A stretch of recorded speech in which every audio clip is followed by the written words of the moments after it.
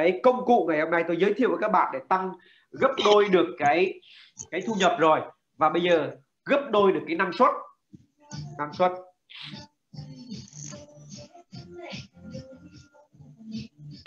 Năng suất nha.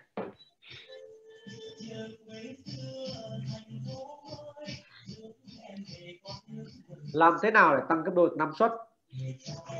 Năng suất là gì? Năng suất có nghĩa là bị thế này. Để tôi nói các chị ngay điều này nha. Ví dụ,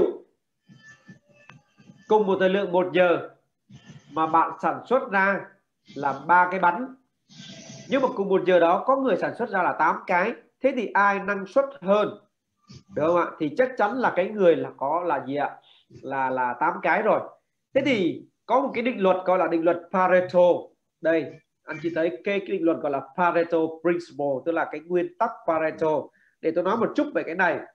Đó là à, 20% thời gian của bạn biết cách tập trung vào cái gì đó mà mang lại 80% kết quả thì những người này là những người thành công này à, còn 80% thời gian của bạn thực ra là chỉ có một số người rất bận rộn và dành 80% thời gian của họ nhưng mà chỉ tạo ra có 20% kết quả thôi.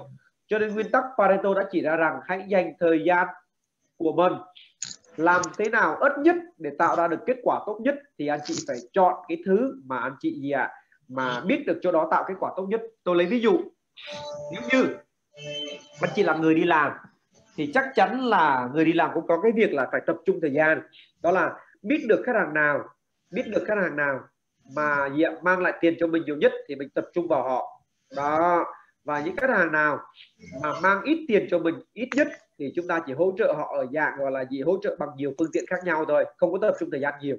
Đó, nếu bạn là nhà đầu tư thì bạn phải bỏ thời gian của mình làm thế nào để tập trung vào những mã cổ phiếu mà cho mình cái mức độ tăng trưởng tốt để mình đầu tư có lời nhiều nhất thì bạn cần là nhà đầu tư như vậy. Còn nếu bạn kinh doanh thì bạn phải tập trung cái thứ ví dụ bạn là cái người tiếp tân chẳng hạn thì bạn sẽ uh, rất mất nhiều thời gian bởi cái đó tính bằng giờ. Nhưng mà nếu là bạn là người điều hành là tổng giám đốc là CEO là uh, president là chủ tịch thì bạn sẽ tập trung thời gian của mình vào việc gì ra quyết định những cái ra quyết định của bạn, cái chỗ đó nó sẽ tạo được cái giá trị nhiều nhất và tạo được kết quả nhiều nhất. Thì một lần nữa, cái nguyên tắc Pareto này đã giúp cho mình tăng gấp đôi năng suất của mình lên. Nếu như bạn biết cách để tăng gấp đôi thu nhập trong một tháng và nếu như bạn biết cách để tăng gấp đôi năng suất trong một tháng, thì nếu bạn ứng dụng hai cái điều này, bạn đã tăng bao nhiêu lần, bạn tăng bao nhiêu lần trong tháng rồi? Tăng 4 lần, hay là tăng hai mũ thừa hai, hay là tăng như Vậy thì lời khuyên của tôi là hãy chọn 20% cái việc mà mang lại 80 tức là bạn tập trung 20% cái thứ giá trị nhất để mang lại cho bạn 80% thu nhập.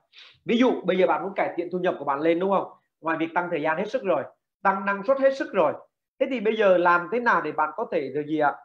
Là tăng thêm được nữa thì có đó là bạn chỉ tập trung giải quyết hay là tập trung những cái chỗ mà giá trị nhất, ví dụ, tôi là người chủ doanh nghiệp. Tôi điều hành công ty liên quan đến mảng sự kiện giáo dục và bất động sản, thẻ xanh. Thế thì tôi tôi sẽ làm việc gì mỗi ngày? Đó là tôi tập trung quyết định những cái đối tác tốt, những cái sản phẩm tốt, những cái gì ạ? À? những cái bất động sản tốt, những cái thẻ nước ngoài tốt. Và tôi sẽ tập trung vào cái việc tạo ra những cái điều tốt và mang lại cái giá trị nguồn lực tốt cho công ty còn nhiệm vụ các bạn tư vấn còn lại là tư vấn làm thế nào để có thể tốt và mang được nhiều doanh số nhất. Thì công việc của tôi hàng ngày là điều hành doanh nghiệp như vậy, anh chị biết không ạ? Đó, và công việc đầu tư của tôi chỉ là một cái mảng thêm mảng thêm nhưng mà nhiều lúc thu nhập lại tốt. Còn lại công việc chính của tôi là một nhà điều hành doanh nghiệp, một cái người điều hành, một cái người chuyên về ra quyết định về tài chính, những cái người tập và tôi tập trung cái việc là gì ạ? Ra quyết định trong việc đầu tư cái mảng nào giá trị nhất, thì đó là cái công việc của tôi mỗi ngày.